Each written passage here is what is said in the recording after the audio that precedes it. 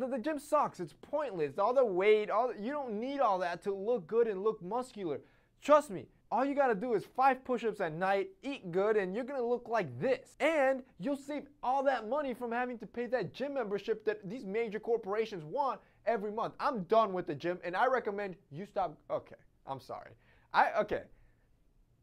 I'm, I'm kind of sorry for the clickbait. Obviously, I want to know how many of you guys actually believe that. Comment down below and leave a like. But I wanted you to see this video because I think it's important. Because today, what I want to do is cover the top five reasons why most people think the gym sucks and they just stop going. The excuses that they put and how you can overcome them. Because the reality is, boys, the gym, the gym is a great place if you want to be healthy and build a great physique. So, if that sounds interesting, let's hop into it.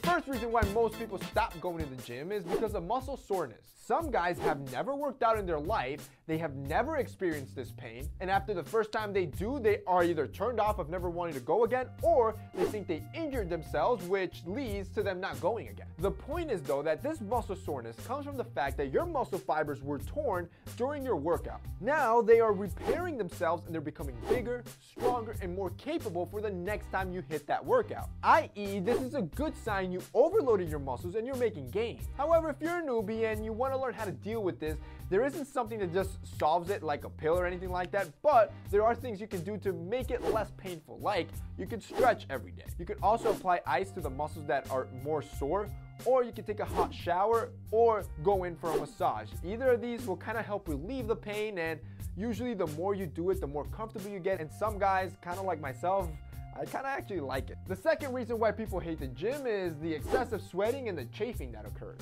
Obviously, when you go to the gym, there's a lot, and I mean a lot of sweating that's going to occur, especially in your ball and your butt region. And if you're overweight or even if you're not, all these movements that you're gonna be doing can lead to excessive chafing in different parts of your body. And I understand it, I get it it can get uncomfortable. But this is why I always carry my chassis powder with me in my gym bag every time I go to the gym. Because our sponsor chassis focuses just on that, making grooming products to solve problems for guys down there that most big names don't even cover or completely forget about. For example, if your problem is swamp balls and swamp ass and you just completely want to neutralize that or avoid that while you work out, this chassis ball powder is the best powder in the market for that. And don't take my word for it. Literally go to Amazon and look at the insane reviews that this product has. Hundreds and hundreds of them. So when you get this, apply a bit before going to the gym. And first of all, off the bat, you're gonna feel a cooling sensation, which feels kind of nice, but also watch how it keeps you refreshed and comfortable down there.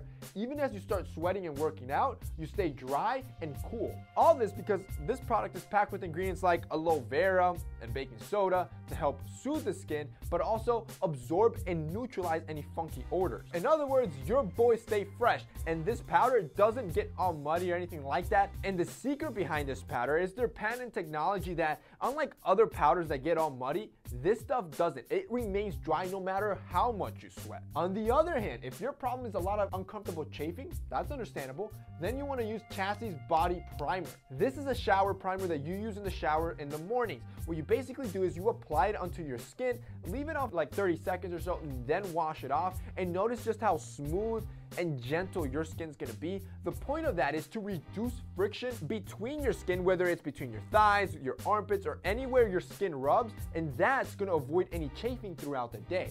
So, if you guys want to check out these chassis powders to make your gym experience more comfortable and just defeat swamp ball, swamp ass, or chafing, there's gonna be a link down below with the code that you guys can check out and just see why these products are so amazing. Third reason why people think the gym sucks is because of gym bros. If you're a noob, you probably hate gym bros because these are the guys that walk around and string muscle tees like they own the gym, looking down on all the newbies and grunting excessively for every lift, even though they're only benching like 200 pounds. And I get it, you're just starting out. This could be intimidating, and it's already as tough as it is for you to make the decision of going to the gym. Now, you don't want to be judged on top of that. But here's the thing you need to understand. One, almost nobody likes the gym douche, so you're not alone. And two, this is a great way to build mental toughness. The world isn't sunshine and rainbows, and most often than not, to grow in anything, you're gonna have to get uncomfortable. So, toughen up, Focus on yourself, plug in your music, and just tune out the rest. Gym bros is never an excuse to not go to the gym. The fourth reason why people think the gym sucks is because it's expensive. I've heard this one about a thousand times in emails. Jose, I want to build a body like yours, but the gym is too pricey. I can't afford it. Still not an excuse because you can try other franchises like Planet Fitness or smaller ones that offer deals as low as $10 a month. That, that's only 30 cents a day. And if you're still saying, Jose, that's too much, then I have about four videos that you can watch right up here that are all free videos you can do at home fitness programs that require no equipment and you can still get physical and get healthy. And on top of that, you can do a quick Google search and there'll be countless, hundreds of other guys giving you the same advice with different routines.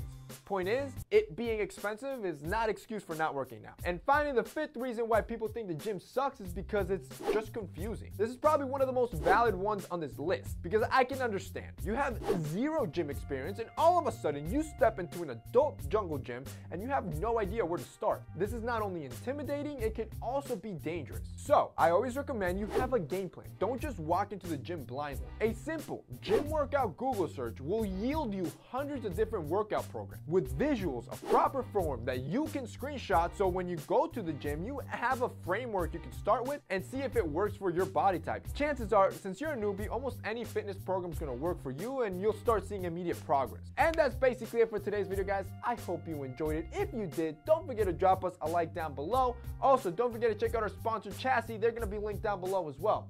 That's it for me today. See you next time.